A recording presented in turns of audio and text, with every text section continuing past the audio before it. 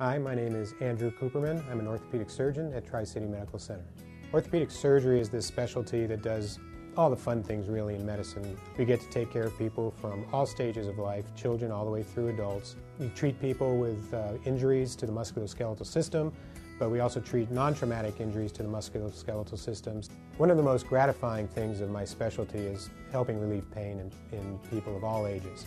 And to have people come into the office three weeks, four weeks, five weeks after joint replacement surgery that's been successful and have them thank me and walk without canes or crutches or walkers for the first time in, in sometimes years is an extremely enjoyable experience for me and something that I don't think you can describe to anybody how that, how that feels. I think Tri-City Medical Center has a lot to offer people uh, and it's been doing it for a lot of years. Uh, it's one of the more modern hospitals in our area.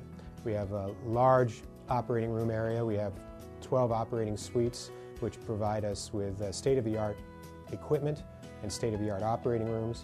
I did my uh, undergraduate at the University of California, San Diego and stayed there an additional four years to complete medical school. I love sports and I get to treat people with sports injuries. Um, I love outdoors and, and orthopedic surgeons are often treating people who have sustained injuries or have problems related to outdoor activities. So there's always interaction on topics that I enjoy, and it's fun doing what I do in the operating room as well. I've lived in North County since I returned to San Diego in 1990, and I just love the small town feel of the little coastal, coastal uh, cities down, down the uh, San Diego northern coastline all the way to La Jolla. It's just a very nice, relaxed, comfortable feel.